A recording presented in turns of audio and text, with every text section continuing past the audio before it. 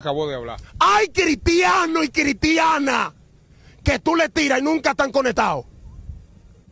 Pero a las 3 de la mañana están ahí. Pero ellos lo pusieron, el WhatsApp Plus.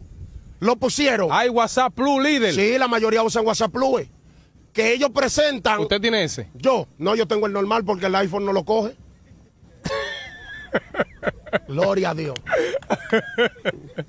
Te Si amo. no, si no, usted tuviera ese, líder. Sí, pero no lo usara con esa malicia como ellos lo usan. Porque no es pecado usarlo. Te fundí la masa en el día de hoy. El pecado está en los códigos que tú le metes para que nunca te encuentren.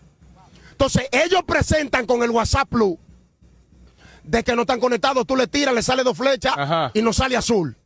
Y ellos leyeron todo lo que tú le mandaste. Otro punto. Ellos postean algo en su estado, tú no lo ves, ellos ven el tuyo y a ti no te sale de que ellos lo vieron. Y después te comentan de que qué lindo ese video. Y tú dices, wow, pero no me salió registrado. Están viviendo un espíritu de ocultismo. Dios mío.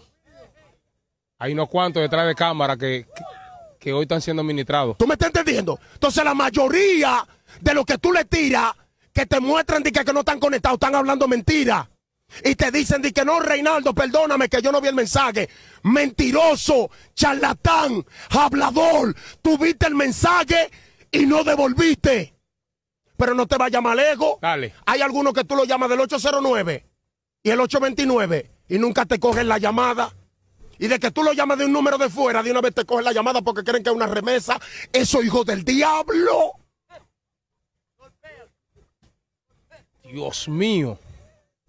La llamada de aquí de República Dominicana Nunca entra. nunca la cogen con el 809 y el 829. Pero de que ven una llamada con más de 11 números, 10 números, 12 números, 13 números, ya ellos creen que le van a poner una remesa. Entonces tú el que hace eso tiene al diablo metido hasta por la sangre.